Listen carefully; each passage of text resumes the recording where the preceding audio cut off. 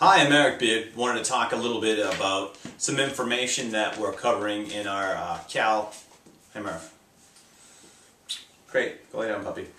In our uh, Cal FITT 400 class integrated sports performance training at the University of California in Pennsylvania. I'm going to do a short YouTube video here to discuss some of the content from our first module as well as highlight the importance of core stability as well as good technique and good form and appropriate exercise progression. When you're talking about sports performance training, weight loss, or just general health and fitness, exercise technique and correct form is, is critical to long-term success. It's just not about getting someone in shape for a month or improving someone's 40 time or helping them improve their bench press, but it's longevity in whatever it is that they do so they can incrementally achieve uh, goal after goal after goal. Some of the things that we had talked about we're progressing core exercises, starting out with a stabilization level exercise for the core where there's little to no motion in the spine, then going to motion in the spine, and then power. Following the National Academy of Sports Medicine paradigm of stabilization, strength, and then power for training the core.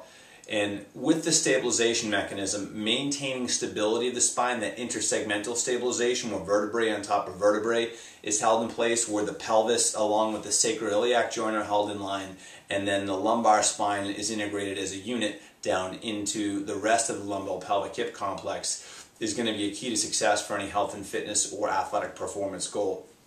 I'm going to go over an example of an exercise here that is done often. Eh, it's done okay, but I think people are missing the boat on some of the benefits or abilities of it.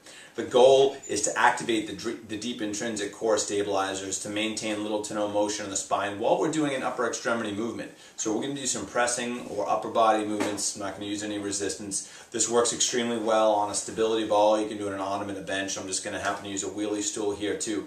The goal is to stay engaged in the abdominals, engaged in the glutes, and then not move while we're doing any movements to the upper extremity.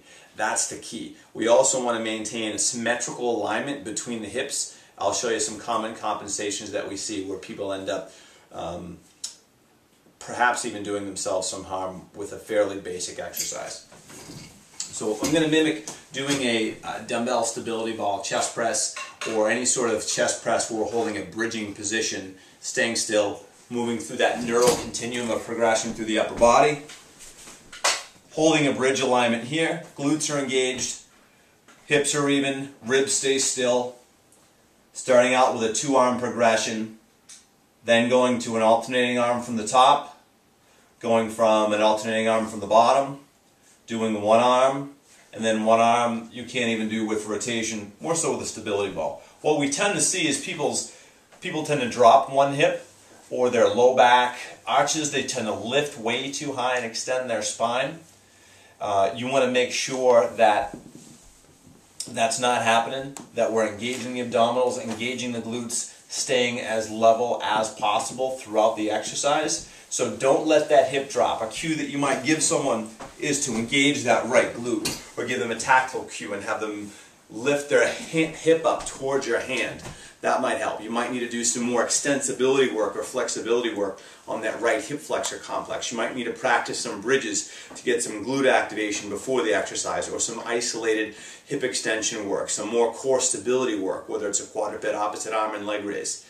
Those are key movements. And if you have an exercise like a stability ball chest press and someone cannot stay neutral, then there's a very good chance then they're not going to be able to do many of the other exercises in the stabilization level, whether it's a standing two-arm cable chest press or a common exercise like the plank or the hover or the prone iso abs, which just different names for the same exercise. Prone iso abs is an exercise that is often done incorrectly with an arch in the low back, around in the low back, around the thoracic spine, cervical spine out of alignment, arms crossed, it's rough. People don't do it like it's supposed to be done. They end up just holding it for long amounts of time and not really getting the benefit. The benefit of doing these stabilization style of exercises is to maintain ideal alignment of the spine, not to build poor movement pattern on top of muscular imbalance.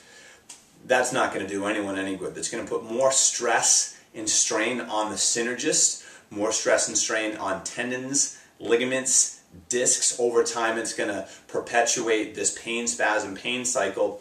We're going to lead to repetitive strain injuries at best and at worst a more significant injury over time.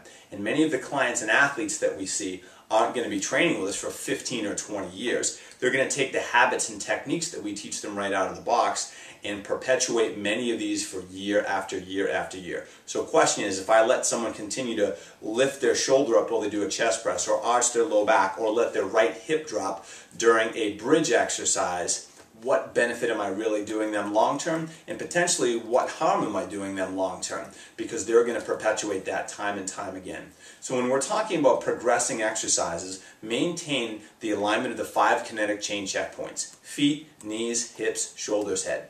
Make sure that someone is excellent at maintaining neutral alignment of the lumbopelvic hip complex long before we have them flexing and extending and rotating the spine. I mean, you never have to do a crunch on a stability ball with someone. It's not written anywhere that you must do a crunch with somebody. Spend more time preventing movement at the spine because people have trouble controlling themselves. They don't have very good kinesthesia or sense of their um, spatial awareness or where they are in space. So spend time working on neutral alignment investing heavily into their stabilization and develop of their stabilization mechanism, progress them appropriately throughout the levels of the OPT model. I've talked some about core training and some about resistance training here, but the overarching concept is alignment of the kinetic chain and quality execution.